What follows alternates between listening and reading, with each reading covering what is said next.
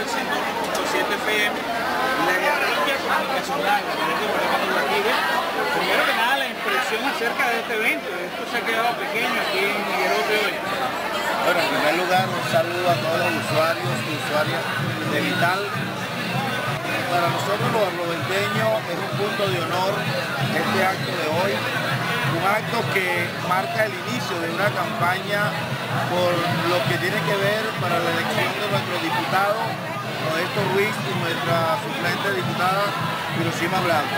Pero además compromiso de aportar los votos que sean necesarios para que nuestros diputados listas también lleguen. Es el caso del profesor Navarro, un vecino nuestro, que ha demostrado, al igual que los otros dos camaradas, Modesto y Hiroshima, compromiso revolucionario. Lealtad con el pueblo, principalmente, y lealtad con nuestro comandante Chávez. Creo que es bien importante este entusiasmo que hoy nos acompaña porque dice que la campaña va a ser la campaña activa, una campaña movilizada. Y nosotros desde el municipio Acevedo, donde contamos con 85 centros de votación electoral, donde vamos a tener 85 jefes de unidades de batalla Bolívar 200, vamos a garantizar que esos votos vayan a, ese, a esas urnas para demostrar que Barlovento es rojo rojito. Pero no por un compromiso de cambio profundo, porque se está dando la revolución en Barlovento.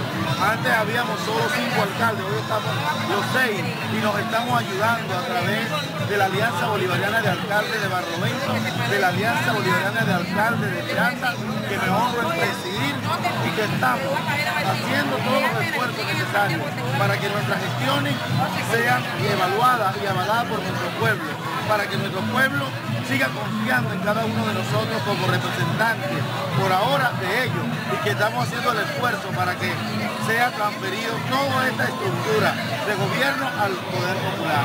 Pero para ello se requiere conciencia, para ello se requiere que nuestro pueblo se prepare, asuma compromiso más allá del mero grito de guerra patria socialista o muerte. Creo que es necesario que con los hechos demostremos que somos capaces de transformar la realidad que sufre su